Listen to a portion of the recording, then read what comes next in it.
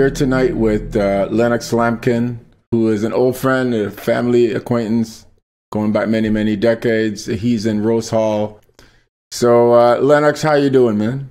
I'm good. I'm um, I'm hunkering down here in Rose Hall during this this trying time, you know. How many eruptions? Because this is the 14th of April, so this has started now since last Friday, right?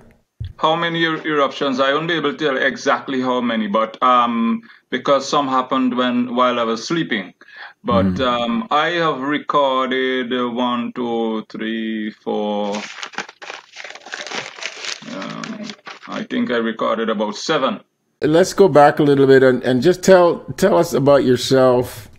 Um, uh, just briefly, you know who you are, uh, some of the travels you've done, uh, and and how do you end up in Rose Hall?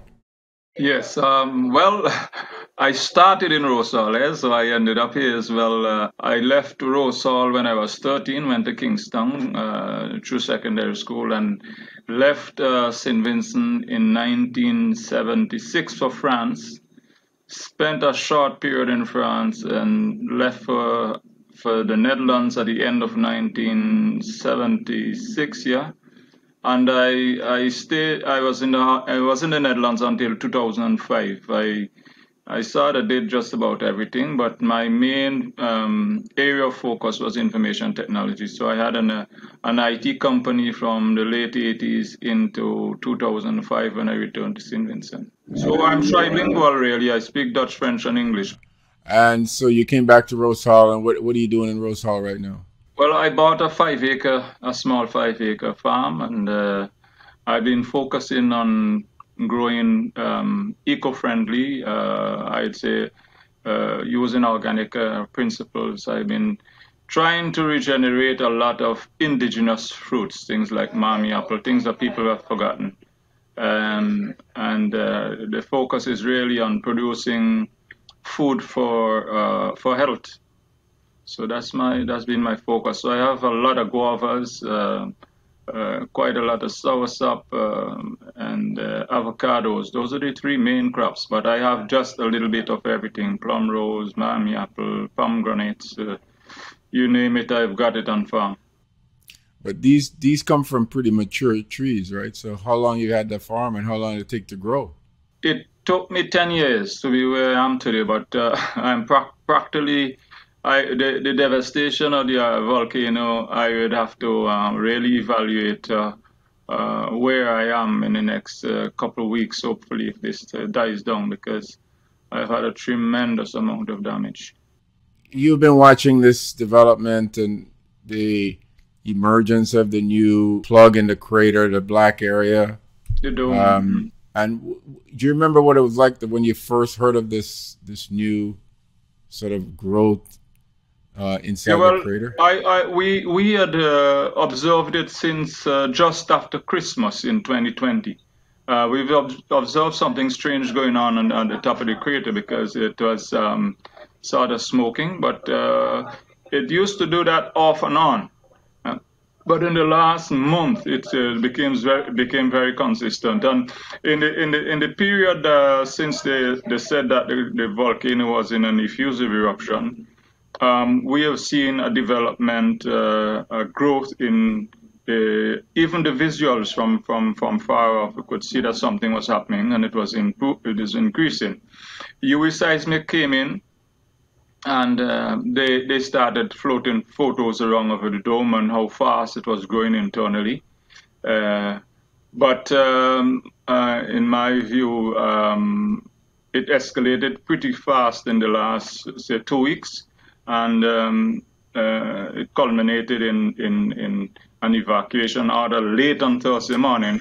Uh, with it erupting on 8 at 8:45 on Friday, Friday morning, giving people very very limited time to um, to do to uh, plan anything. Yeah, I looked at the dome and it, it it it looked like it grew quite a bit. It must have been if if you compare it to 1979, it took a lot longer for it to get to that eruptive phase. It took years. When when it started erupting effusively in 1971, there was a lake there. I think it was a hundred and something meters deep Uh, so there's a lot of water there that uh, that were, that took out a lot of the heat out of the the, um, the, the process. So it took some time, and uh, when it dried out in 1979, it uh, it actually went violent. In this hmm. case, it has been uh, quite a lot of material was already covering the internals, so the heat was developing under under all of this magma that was coming out, you know. So I, I expected it to, to explode. So uh, take me back to the, the first eruption that we saw. It was on the Thursday. Thursday at uh, eight forty-five in the morning. Mm-hmm. Where were you when that happened? I was in I was on farm, so I, I took a shot of the first blast. So I have that as well on as well on record, and I streamed the um, the first eruption live on Facebook. Hmm. And uh, what were you thinking? Well, What's going through your mind? Because this is not the first time, right? You were there in 1979. Uh, no, I wasn't here in 79. I was here in or 71. You or you were no, in, I was um... in the cadets in 71. So I remember the process in 71, but I wasn't here in 1979. So all that was going on was what people said uh, happened in 1979. So I thought, well, you know, that uh, I would stick around, you know, uh, mm. if that is what uh, what it's going to be. But it's uh, it turned out to be far worse. Um, the and it's still it's still in progress today I, I was observing something like a flow coming down on the um on the west on the west end. You know, so we have we had we, we, we had a lot of ash, a lot of ash. I had about I, I estimated when I went to, to to see what happened on Sunday because on Saturday night we had some serious, serious um explosions and eruptions and I don't know how many took place that night, but quite a lot. And I had about six inches of, uh, of ash on, on farm and the trees were already breaking down because in the night it, it rained a little bit and the weight of the ash just tore the trees down. Large limbs just broken down, you know. So, so this is really the first time you've seen. This is the first time I've seen it up close and, and personal, yeah. Yeah, yeah. Uh, I remember seeing it myself in 1979. I never seen anything like it. Oh, okay. Uh, so now, what's going through your mind, Lennox? You got to take us back. What are you thinking now? You think you got to you got to run, you got to stay, you got animals, you got a farm, you got a business, you got your house, you got your neighbors, you got your town. What what's how you how you making a calculation to stay in Rose Hall well, as opposed to uh, it, I, I, am evaluating it day by day, but um, so far so good. I mean, uh, I've had uh, water in the pipes up until this morning, uh, and that is disconnected now. So I I was I was more prepared than many because I have about a thousand gallons of water stored, 500 for the animals and 500 for myself. So, um, but the reason I really uh, stuck around was that I have rabbits and I have I have 16 sheep on the farm because I integrate that into the, the, the whole farming process to to be able to farm organically. I use organic manure mostly, you know. So and and I I I, I use the, the the sheep to keep down um, the growth on the farm. So because I do I'm planting quite a bit of citrus, which has reached almost some of the limes are producing. Grapefruit and orange which, and tangerines will soon soon come to fruition.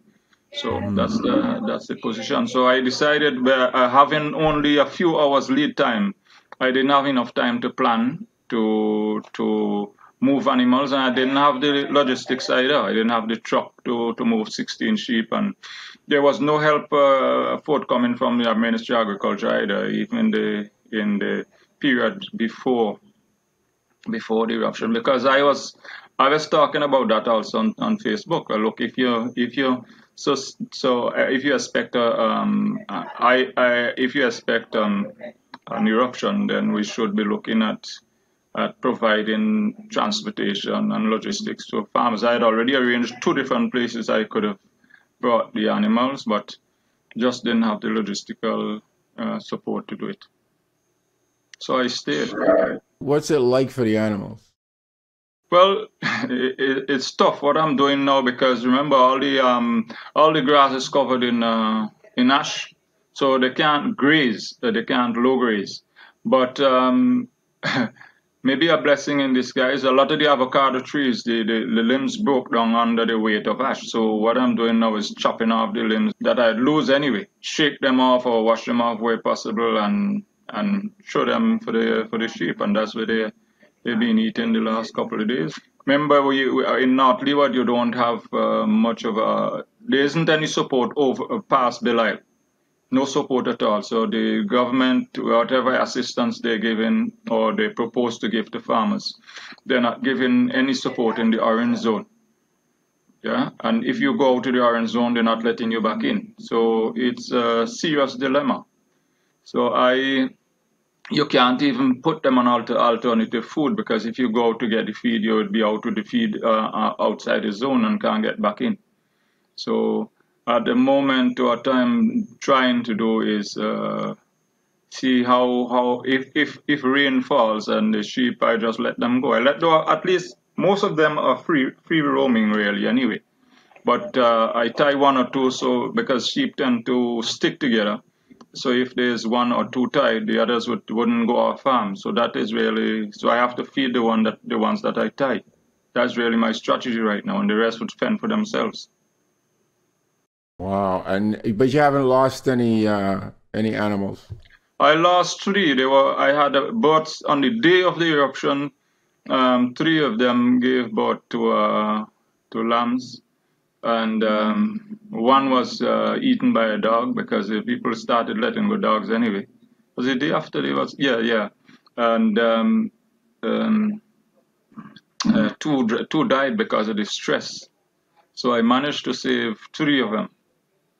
You know, so I have 16 sheep, you know, and I am trying and hoping that things would just simmer down. But we had a uh, a pretty massive eruption around noon today, mm-hmm. uh, 14th, yeah, and um, that uh, that also produced a lot of ash. But um, I, I, I know it reached Chateaubelair, but I didn't uh, see very much here in Rose Hall of it, you know. When you say reach Chateaubelair, what do you mean? Not the pyroclastic flows. No, no, no. I'm talking about ash ashfall. Oh, okay. Okay. Because what, what happened in the in the beginning, the first eruption, say on Thursday, on Friday the the 9th at mm-hmm. 8:45 around a.m. The first eruption looked a little bit like a spiral because the vent was very small. And because the vent was very small, it pushed the um the, the material very high into the sky, some 25,000 feet. I I heard uh, that. So uh, that force eruption, because it went so high, the dispersion was very wide. It, uh, it had a, a, diameter of about 400, 450 kilometers. That is why it went over Barbados, Barbados being 160 kilometers to the east and uh, it went right across Barbados. So you're talking about 180 kilometers and and beyond. And that is that is against the prevalent wind wind direction. But at that at that altitude, um, the wind the winds are different than than the low altitude wind. I, I'm saying this to explain what is happening right now. Um, as the vent of the crater uh, expands and gets larger, uh, when there is an eruption, um, it is it comes out less forcefully, but not less material, but less forcefully, and uh, that means that the, it doesn't get to the altitude of the force eruptions. Uh, so the dispersion is mostly local. So it would hit maybe St. Lucia, which is uh, 21 miles uh, further up, it's about 32 kilometers and a lot of it went into the sea and uh, dispersed around the, the Soufriere Mountain uh, itself, right down into Fitz Hughes and part of Chateaubelair. I see. It's likely that the next time we go up to Soufriere, the crater is going to be very, very much rearranged. Very much rearranged. I think the the, the the western, the northwestern bank has, has uh, partially collapsed. I understand, the dome inside has collapsed into the hole.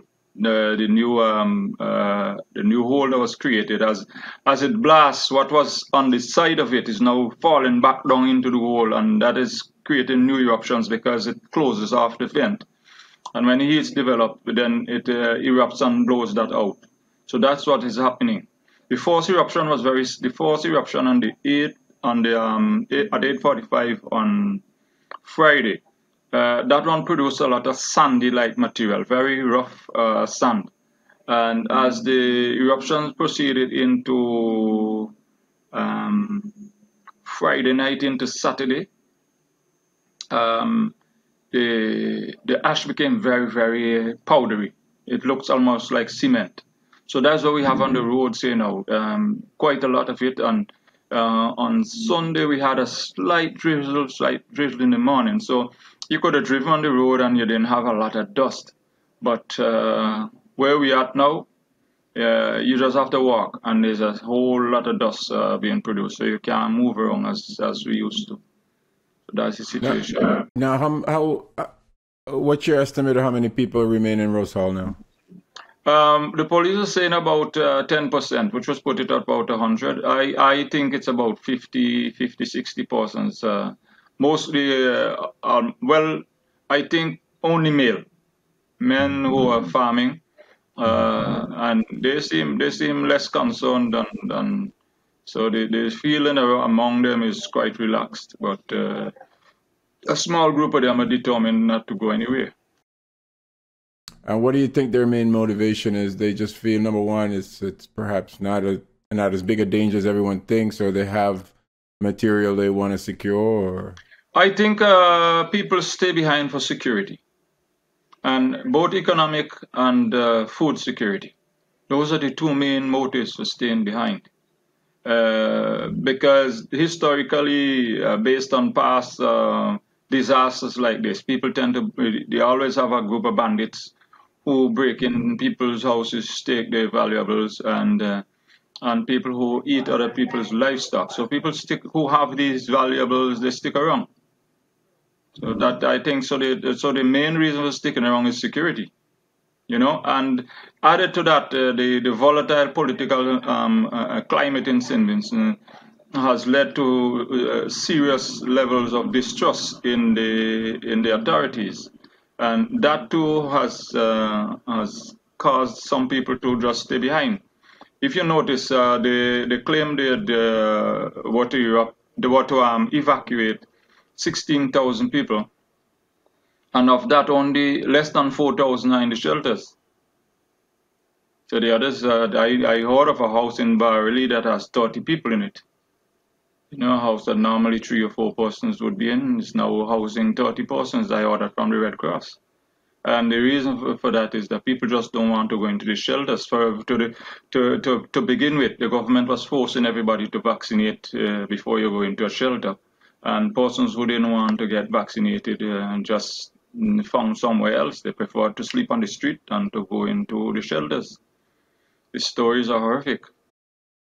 Now, is that still the policy of the government to require they're still vaccination? Pushing that. It's still, it's, they're still pushing that policy, and um, they were they were actually saying that uh, if you don't vaccinate, you can't be evacuated off island that was one of the first things they, they came out with on the same day. Uh, it's like uh, you, you, you, you announce an evacuation um, process on on the end of the day on the 8th, and people have to get vaccinated if they want to get um, um, to be evacuated uh, between that time and, and, and 8 o'clock in the morning. So people had no time to think. So a lot of people just went wherever they could go and just didn't bother to go to the to the to the um to the shelters. And uh, and there's a lot of horror stories on uh, being related on, on on radio because it's um it is a disaster in many many ways because we have problems with water and I've been warning about this for for years. I started a crusade here since in 2009 um, asking uh, the government to assess, assist people to buffer water at the home level. And uh, instead of uh, helping, they were purchasing um, tanks in Trinidad and selling it at 200 or something percent markup. The government. And that is ridiculous. And uh, just last year, we I had a run-ins with, uh, with because we had on two, two, two years in a stretch, we had serious drought and they were encouraging people to buy tanks, but they were selling the, the tanks at a 200% markup. And uh, after publicizing it, they, they cut the markup to, to uh, now to between 103 and 124 percent. I'm following it because I checked the retail prices in Trinidad, and I'm comparing comparing retail prices. Uh, but if you buy wholesale, the markup is actually higher, and that has been a problem because months. If you go online and you look at my um, my Facebook page, you see that I've been saying that for months since the since they were talking about um, uneffusive eruption in December. Look, help people to buy these things.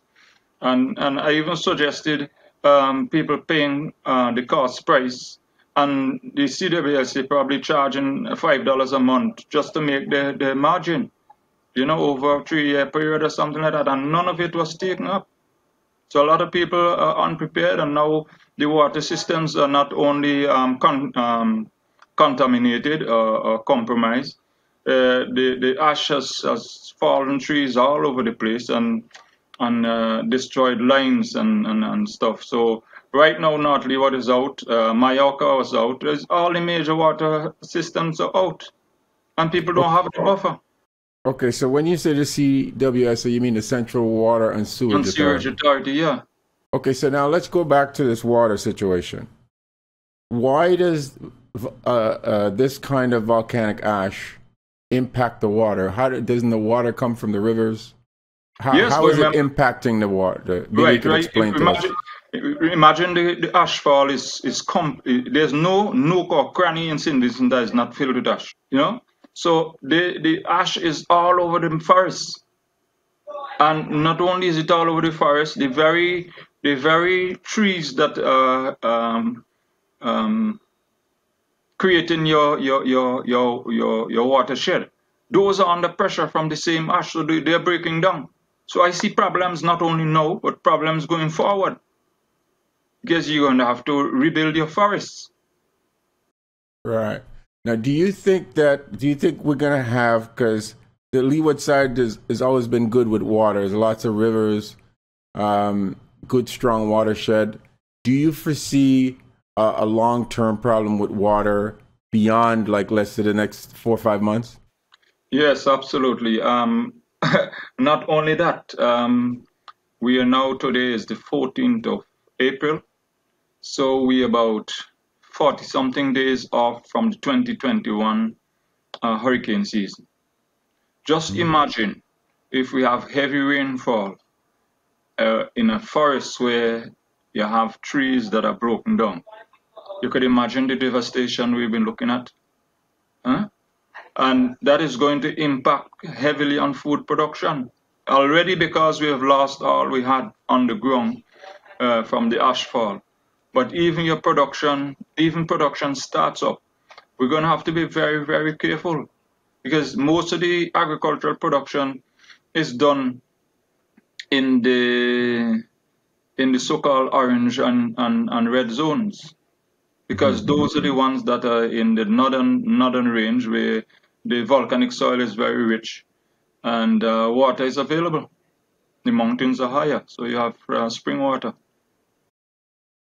Now, if you maybe you could explain to us uh, how, uh, for example, let's let's just go back to food for a second.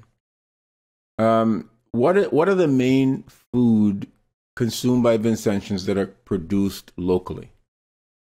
um, still uh, even now uh, bananas Hmm. things like bananas pumpkins there's also stuff like breadfruit fruit uh, breadfruit you have uh, melons all that sort of stuff. Cucumbers uh, tomatoes but sweet potatoes the tubers too the roots and tubers.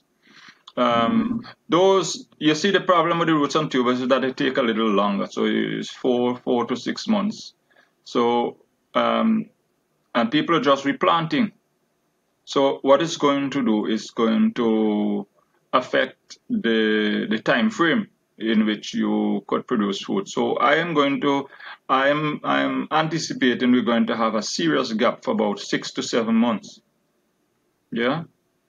For the short crops. And for the long crops, two to three years.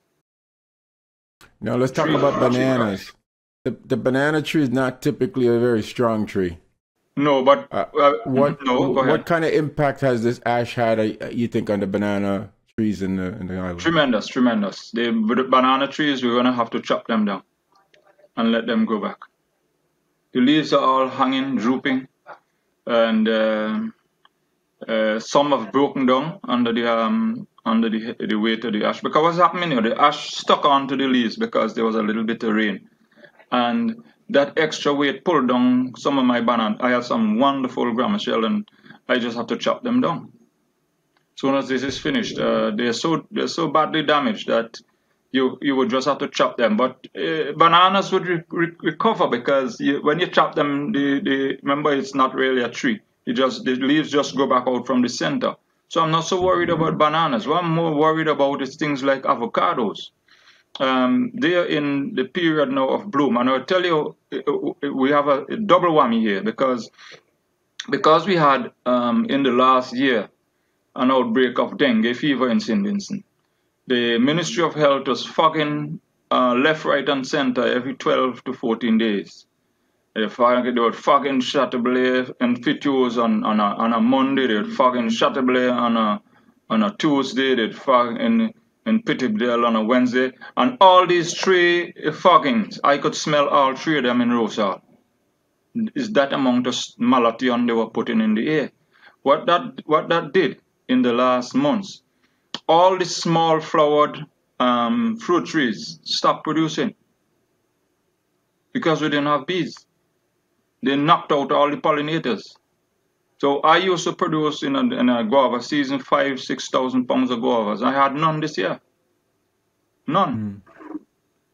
Mm. Mm. That that that in itself that that came and and and then the, the eruption came, and I wouldn't want to see what's going to happen to the bees there's not going to be very many left because there's nothing for them to, to go out and the, the flowers are all gone.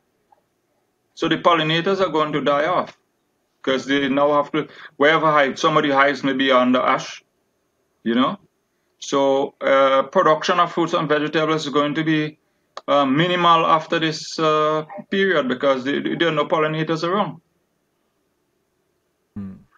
You see, we have to connect the dots, and that's why it's not, it's not happening. People are not understanding the, the, the wider impact of of this on on on the whole food chain and the whole on life in itself.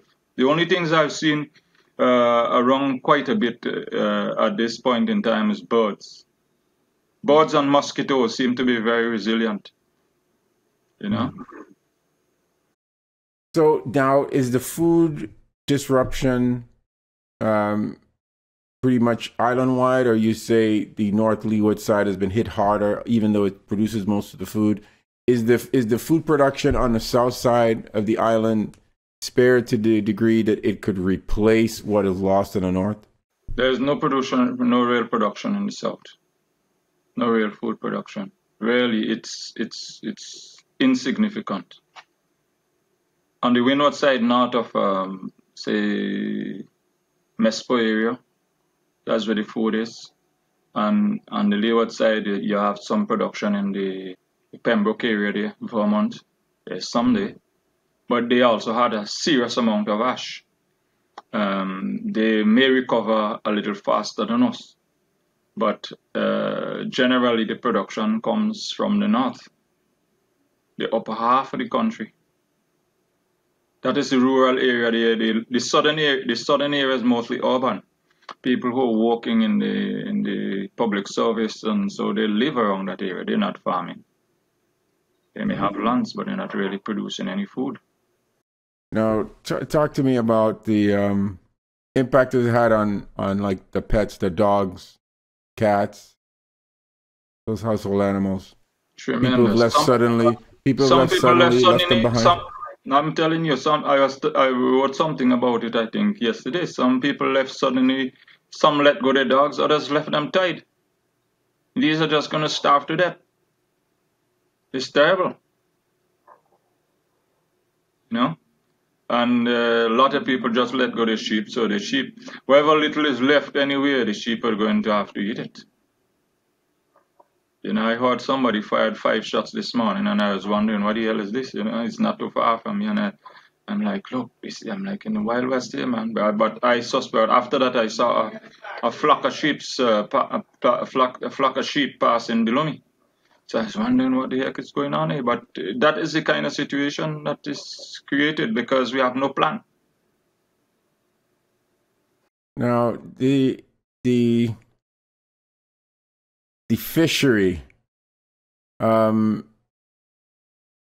what impact do you think does it have on the fishery in St. Vincent? Well, I, I, I, I don't know. I don't know because if you have pyroclastic flow, it would uh, affect the coast, coastal uh, uh, fish stock. Um, uh, it would affect fisheries because people are displaced. The fishermen really are displaced. Uh, that, that in that way, it would affect uh, because we don't know exactly how long this is going to last. And the fact is that um, my thing is that when you have a disaster like this, cleaning up should be a continuing process. You can't wait until it's finished to start cleaning up. Huh? A lot of the stuff, the a lot of the ash that's falling is useful. Why not collect it? I was planning today to collect and put in for uh, collect 300 gallons of this stuff today because that is valuable stuff. Instead, they leave it on the road and wait on the rain to wash it into the sea. Now, I don't know what impact that is going to have on the on coastal fish stock, no? But at the same time, it doesn't make any sense because this is the same stuff that creates our aggregate. Our dark sands is really volcanic uh, ash and, and stuff that, that is washed out. But we don't have people who are thinking. There are tons of this stuff on the roads. You could just shovel that up and put it in a place and let it weather. Because it's, it's pretty dusty, but if rain falls on it, it's sand you got right there. And the good thing about it is that sand doesn't have any salt. Remember when you're doing construction, you have to use sand with steel. And I don't understand why there is there's no effort whatsoever. All the government is studying is how they could get money. And nobody's come with creative ideas about, look, this is a tragedy, but at the same time, there are certain things we could do with this, with this, with the material. Volcanic ash has value. Even for potting soil in the later uh, after the, after the uh, event, we could we could have stocks of that stuff added to our potting soil because it's highly mineralized. Lots lots of minerals from the from the depth of the uh, the, the, the, the, the earth really. And we know, and historically, we, we should have known that because um, I was told by a number of farmers that they had never had better production than in 1980-81 after the 79 eruption. So it means that we are going to allow a lot of good stuff to go into the sea. But it also means that potentially you have a good uh, bumper crop ahead of you once this yes, kind of but, settles um, I, I, I, believe so too. I believe I am not um, pessimistic in, in in in that I think we could recover, but I say within it would not be within as short a period as some people are anticipating. For the short crops, we're looking at uh, six months to a year, and for the long crops, we're looking at something like two to three years. And, and I'll tell you, one of the problems, one of the problems with that is that when people shift their eating habits to something else, yeah, sometimes they don't come back. On top of all of this, we're dealing with a COVID situation, mm-hmm. a pandemic around the entire world. Right. How does this complicate life for you in in uh, in Rose Hall? Somehow, somehow, uh, since the volcano um, uh, broke out, nobody is talking COVID that is gone completely off the table. And you're not hearing anybody getting sick from COVID. Uh, you're not hearing anything of that sort right now. Which which was something that puzzled me. Because there was a whole talk about, oh, COVID, COVID, COVID. And as soon as elect, when something worse, when we're faced with something worse, nobody is talking COVID, and I'm not seeing anybody getting sick. Mm-hmm. It's really funny. But that's my observation. Now, do you you pretty much in your house? You go to your farm, back to your house. Do you ever venture out of Rose Hall down to Troumaca, Belmont, any area? Yes, I went to Trum- I went to Troumaca yesterday. I'm going down to Troumaca again tomorrow. But um, I went to Rose Hall today. I went to the farm this this this afternoon. When I, after I did the live, I took care of the sheep, my rabbits, and so. And I'm driving a Kawasaki Mule. That's an open buggy. And just from Rose Hall to Belmont, which is maybe a half a mile, sometimes I was tempted to just leave the buggy on the road and walk home. The dust was everywhere. I came home, I looked like a spaceman. Dust and stuff all over. So that is really a serious problem. It's as if you're driving in, because I expect, well, the dust would be behind me. Oh no, the dust was everywhere. At one time I couldn't see. You know? So that is the situation. That and that is really the situation. I'm saying this stuff. So I called a guy in uh, who was who was into trucking. He do, he builds blocks. I called him. He said, I call his I called him. His phone rang out, so I called his son, and yeah, they operate a truck and they do blocks. And I said, Where are you? He said he's in Kingston. I said, guys, you should be in Rose Hall. You know, there's sand on the road. You know, if you come and collect the normal heat, they have an area they, they, they, they normally go and collect sand at the sea and heap it up there. I say you should be down here with your with your with your mask on, you know, and goggles. I should be collecting stuff free on the road because it builds. I, I did my research online. It builds excellent blocks even better than the, sand. They're smoother and uh, they you, you use less cement uh, really. So I'm, I don't know. But people just sitting down and waiting for, for this to get over and people not thinking of the possibilities otherwise even in the midst of this disaster they're not looking at the possibilities that have be, be before them. They wait until it's finished and all the ash is gone and you hear stories. And of course, it has no salt in it. It has no salt in it. It has no salt in it, and that is really. I spoke to the, the one of the lead scientists. They're just about 200 feet from me here in Belmont, hmm. and um, there's a Scottish guy there who is um, who is who, who is working at the observatory in Montserrat, and I I I I, I, I asked him yesterday morning. So what what well, well, can't we use this stuff for um in the construction? He said, yes, we do that in Montserrat. We sell this stuff. You know, I'm saying to myself, how come we we say he said he said that is sold. He said it's a bit dusty, but you could leave it to weather. You know, and I'm saying to myself, well, why is it we are not doing that? And and these are the things you you you could make um, pavers from them. These small tiles that you you you we call in Dutch we call them uh, tiles, which is, use them to build street. These they, mm. they call them clinkers. These are the things you could do with this stuff because it's a little bit more compact than the basin. Right now, since this has happened, we've seen in the last day or so some aid arriving from Martinique, from Trinidad, from certain places. Has anybody uh, contacted you or anybody in the orange zone provided any water or any kind of relief no, supplies? No, nothing, nothing, because they, they want to force people to get out and get vaccinated.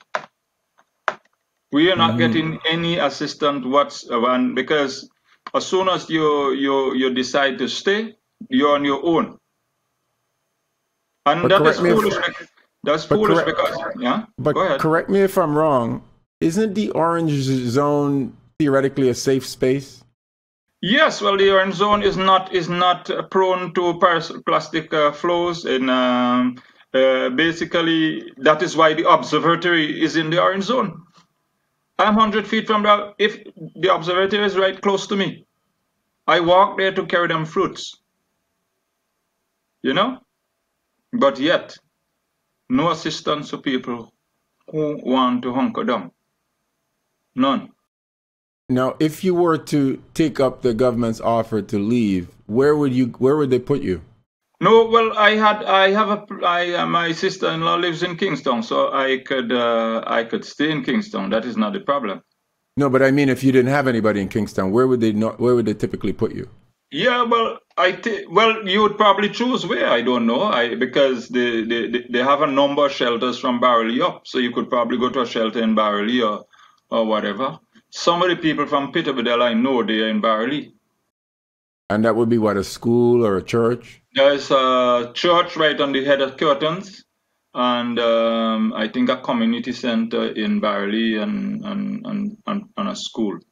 But the people are under under resourced People don't have mattresses to lie on. Some people just lying on a, on a blanket on the ground.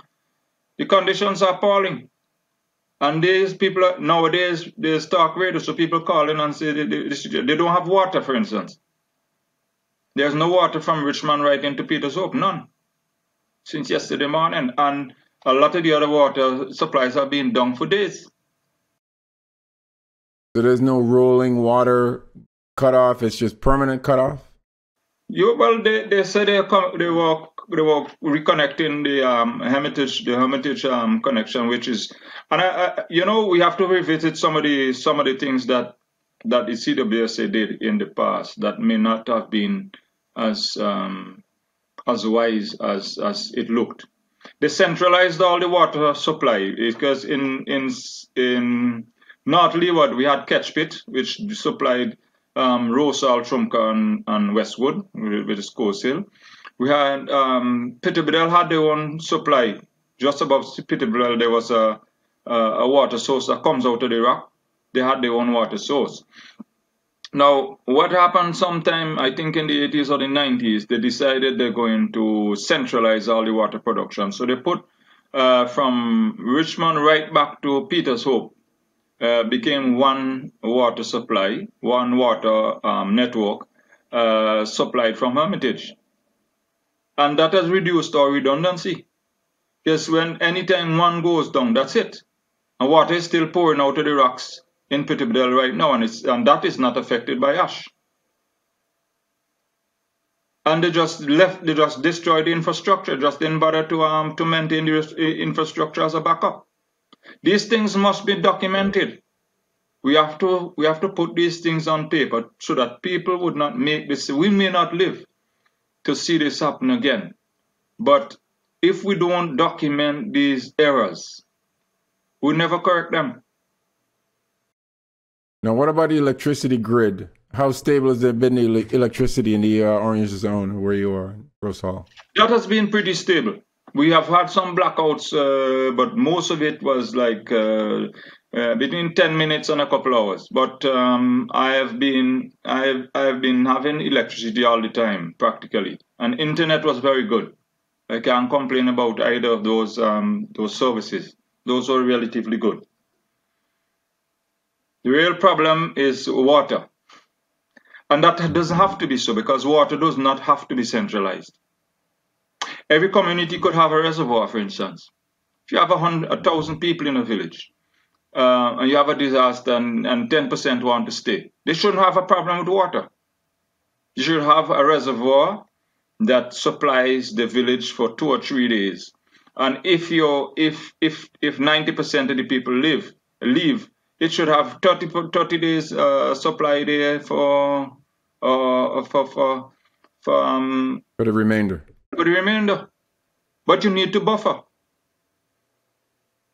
Hmm. And buffering is important also for, for the yearly um, the yearly hurricane outbreaks. Because when, when we have heavy rain, the water is compromised with mud.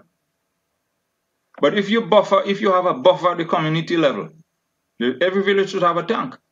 If you have that buffer, it would mean that um, when there is heavy rainfall, you could cut off the input, right? And you could use the, the, the buffer until it, uh, it it's um, it's used up, and by then uh, the problems with, with mud would have uh, settled. You connect back and you replenish. Hmm.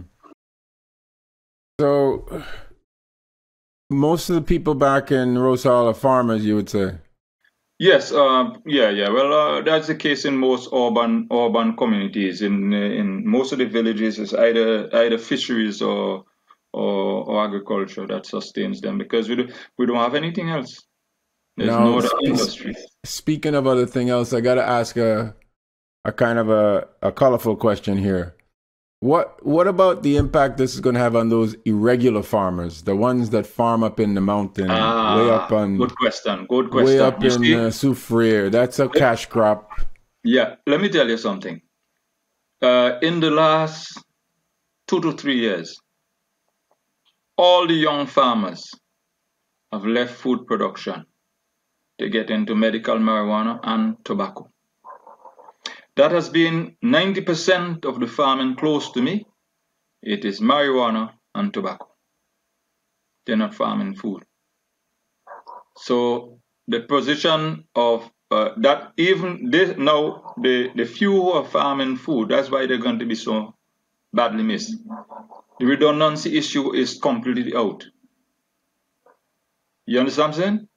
If you had a broader production production base, you would recover a little bit easier. But everybody is into marijuana. Now their crops are completely devastated. Most of them invested heavily because remember now it's uh, it's semi-legal. So all the hills they were covered with marijuana, and all of that is lost. Now, now all that farming up in what used to be pretty thick bush, Mm. What impact has that had on a watershed? What impact does that have on you know Deforestation. how how water flows off those mountains? Yes, now that that that is an issue that I I uh, touched on in 2011. 2011, I was trying to I was advocating and I continue to advocate for decriminalization of marijuana in the interest of the watershed. Because what was happening was that people were moving further and further into the watershed to escape the long arm of the law. And they were taking with them fertilizers and chemicals. And that uh, risk of contaminating the water was real.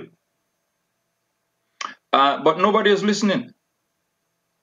Nobody was listening. And a lot of the problems that we have, a lot of the, the, the public health issues that we have in this country is directly related to pesticide uh, consumption. And I say consumption because they, we use a lot of it. And quite a few of the pesticides that we allow into this country are endocrine disruptors. They disrupt people's metabolism. So even people eat um, normally, they, they become obese. We have an, a childhood obesity under five years old of 10%. You know?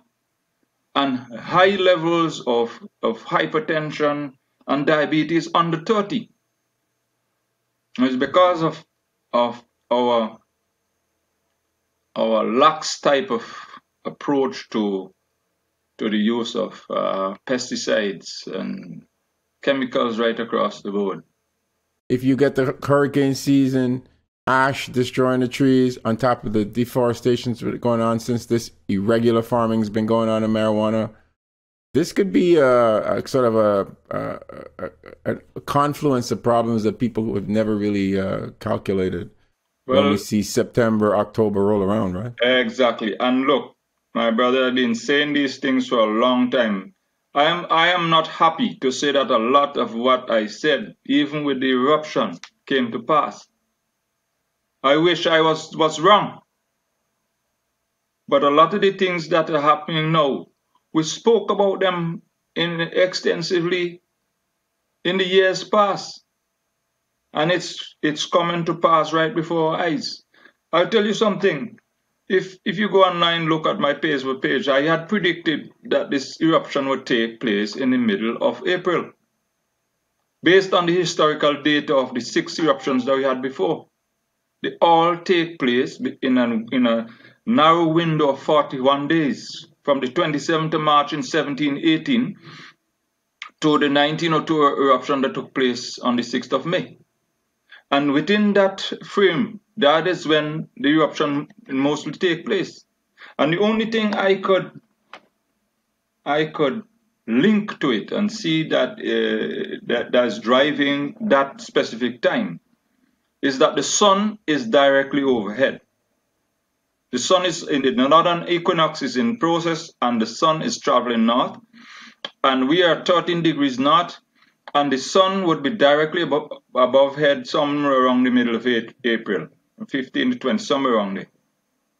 So these days are hot and long. And for some reason, for some reason, that's the time the, the eruptions take place. I'm so grateful you, you took time out of your, your long day, and I know you got to get ready for tomorrow as a farmer. You got to get up early. What time do you get up, uh, Lennox? Five, five, five, six o'clock mostly. I, yeah. So what yeah. what what do you have planned for the next little bit? The last few days I've been having a lot of sessions like this. Mm-hmm. A lot of sessions online. I've had I have had three sessions with uh, radio stations and newspapers in Curacao, in Suriname, in uh, in the Netherlands, in Canada, and I have one tomorrow planned for Fox 17, and uh, that's how it goes. So all these uh, days, people want to find out what is going on on the ground. They mm-hmm. want to discuss what uh, the observations and and see how we could plan going forward. There's a lot of people interested in assisting, mm-hmm. tremendous amount. Mm-hmm. But the feeling generally is that people do not want to put the money in government's hands. That is the general feel. And on the so ground here, people don't so want to, it's sad, people don't want to go to the Nemo. What do you advise? What is the best advice you give people that want to help? Because I know a lot of people watching this going to want to help. Um, and yes, you're right. They're they're a little bit skeptical about handing over money, even supplies to Nemo. What are the alternatives to Nemo? Well, um, that is that is the problem that we have right now. It's maybe the, the, the Red Cross. I uh, I think is one. Uh, there and there are a number of small organizations on the ground. People are doing a lot of people who are giving assistance are doing it direct. Mm-hmm. They're finding people, relatives are sending stuff to relatives directly because what is happening is that if if the if the if the assistant goes central, there is no guarantee that people you want to help would get the help. Because uh, going back to 2013, um, after the floods, um, quite a lot of stuff came in, and um, some of it ended up in the warehouses and just went. Um, I was told quite a bit of it uh, expired just remained stored and wasn't properly distributed or unevenly distributed. Some people who don't need it get it, and people who really need it don't. And that is a problem. So people are now thinking, look, if I have to send in stuff, I, and I, my, I have my family on the ground or my friends on the ground, they send their stuff direct. And you cannot blame them because they have some historical problems. And, and one of it is that is probably the people at Nemo really want to do the right thing, but their hands are tied. If you look at what's happening now, for instance, we are hunkering down in the orange zone, and there's absolutely no assistance for us. They're trying to put things in place to, to force you to leave your animals and come out. And there is no guarantee whatsoever that if you leave them and you come out, that um, you'll get any assistance to recoup. There's no guarantee. So people, I have a friend in Troumaca, he has 24 sheep. He says he sold some and he has 24 left. He says he's not going anywhere because that is his livelihood. You get me? So he, mm-hmm. he said, I have to hunker down and see what I could get. He can't get stuff in. You have to find a way of getting somebody to bring it over Belle Isle for him. So he brought all his sheep and got him in, got him in his backyard. Now, is there any uh, boats coming in at Troumaca Bottom or at uh, yes, occasionally View or any place? Yes. Occasionally, if you organize, you could get a boat to come in, but the police are stopping people on the road. Mm-hmm. And that that is very sad because I I don't have a shortage of food. As actually actually I send food to the to one send pumpkins to the to one of the shelters. Because mm. I have I have food. That is not my problem. I have food as long as you got water and I got electricity, I'm fine. You understand? So if I make the choice to stick around here, you should still I should still be able to get feed for my animals, for instance. Agreed. Now, do you have any uh, indication there's any commercial traffic coming in, any aircraft, any boats, any Federal Express, any courier service coming to well, Vincent right now? I don't think there's any um, air traffic coming in because the ashfall on the airport uh, uh, would not make that uh, very safe to do. You know, but um, boats boats are coming in.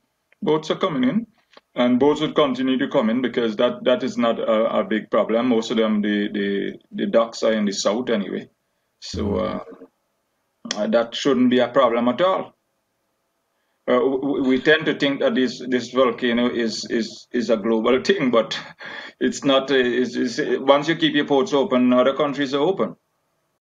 Now, uh, if you could speak directly to uh, the authorities, whoever might be watching, what do you what, what do you got to say? One last word to them. How could they help you more?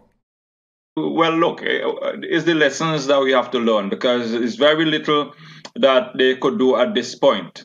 Um, what they, anyway, what they could do for those who the farmers, the livestock farmers who stick around in the orange zone, is to provide them with some level of uh, feed support.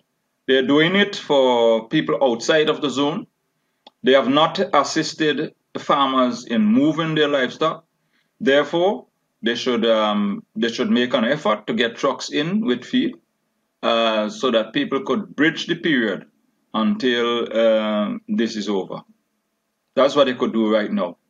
All right. Well, thank you so much, Lennox. I'll be touching base with you again in a couple of weeks because I want to keep this going, this conversation going. Um, we're all with you, our, our uh, your, your fellow Vincentians in the diaspora. We're all with you. We appreciate all of the information that's coming out visually from your recordings that you've made. So, you know, keep up the good work. We want you to stay safe. Okay, great, man. Thanks for having me, and um, I appreciate this as well.